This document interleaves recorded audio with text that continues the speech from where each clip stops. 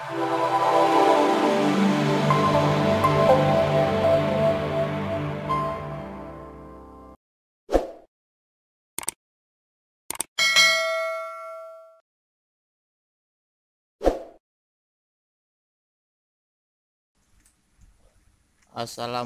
warahmatullahi wabarakatuh.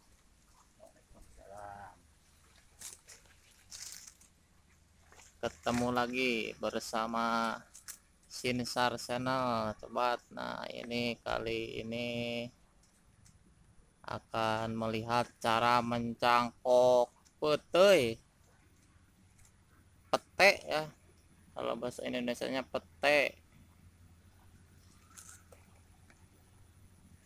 ini mencangkok putih nah ini langkah pertama sedang dikuliti dulu batangnya. Ini kurang lebih 5 sentian ya untuk dikulitinya nah untuk memilih batangnya batangnya nukma pak? Yang agak tua. Tidak terlalu tua tidak terlalu muda. Nah pilih batangnya katanya yang sudah cukup tua ya jangan yang masih muda.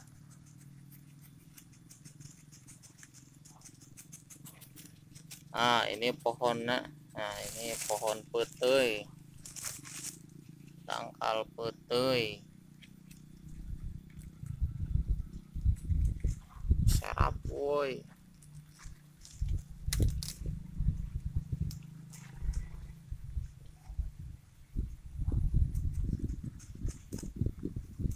Nah untuk batangnya jika si kulitnya sudah terkelupas dibuang yang bagian yang licinnya ya. Dikrok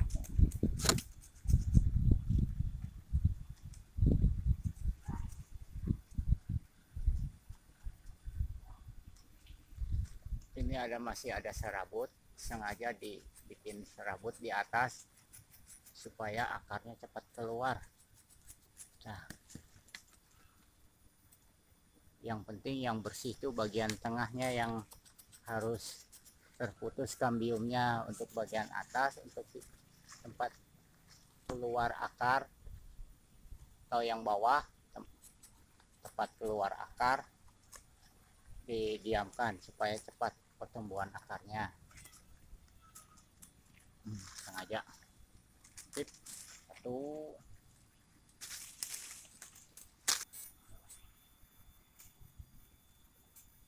Nah ini masih tahap mengkuliti ya. Mengkuliti batang putih.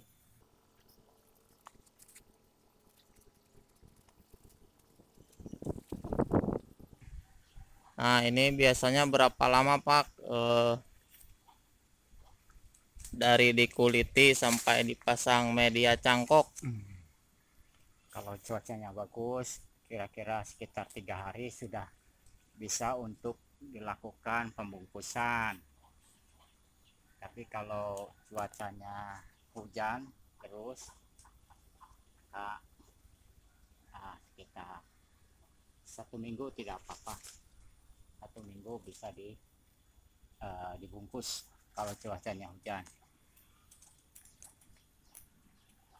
Berarti ini si batangnya jangan langsung dibungkus ya jangan langsung dipasang media cangkok tapi didiamkan dulu beberapa hari.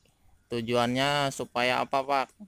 Tujuannya supaya uh, cepat pertumbuhan akar. Akarnya akan cepat keluar. Karena kambiumnya sudah tidak menyambung lagi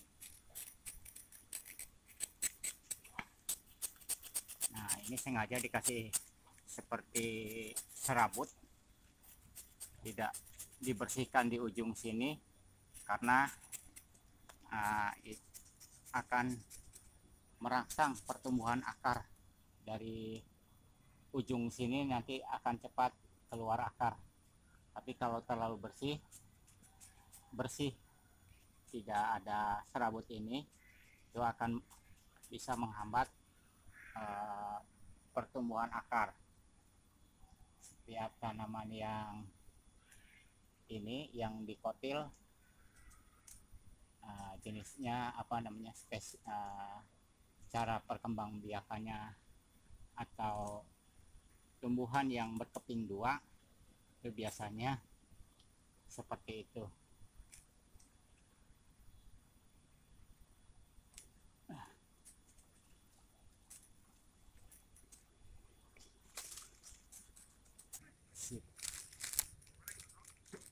Nah ini setelah dua hari tiga hari ya Pak? Tiga hari. Setelah tiga hari ya dilanjutkan pemberian media cangkok. Ini media cangkoknya menggunakan tanah. tanah ya. Nah ini tanahnya. Tanahnya jangan yang kering ya basah. Agak basah. Supaya mudah. Supaya mudah.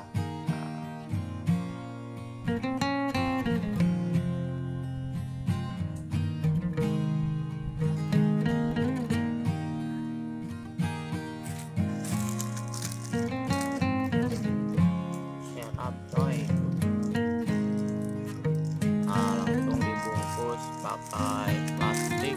Transparan menggunakan plastik transparan ya sengaja supaya nanti pertumbuhan akarnya terlihat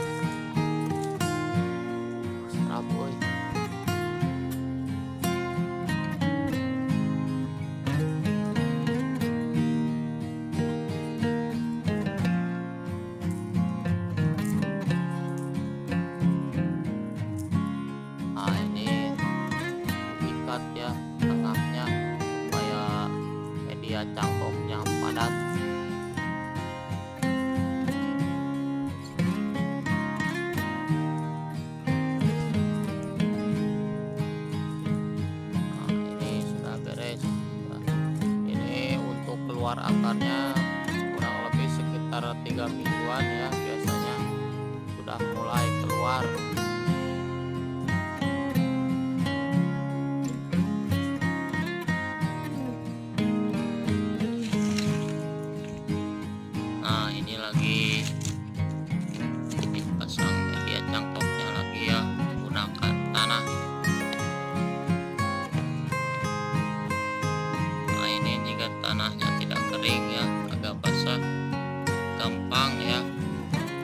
I'll, um,